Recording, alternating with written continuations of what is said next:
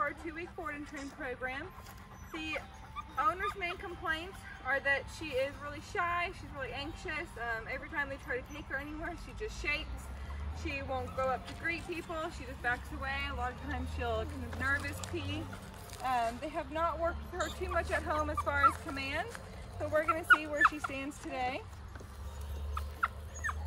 Marley, Marley, sit. Marley, sit. Sit. Marley, heel. Heel. Marley, down.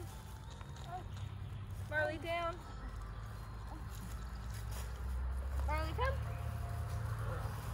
So, not too much of foundation. She definitely kind of just wants to stay right underneath my feet. She's not very confident, but we're gonna get her trained over the next two weeks. So check back in to see everything that she has learned.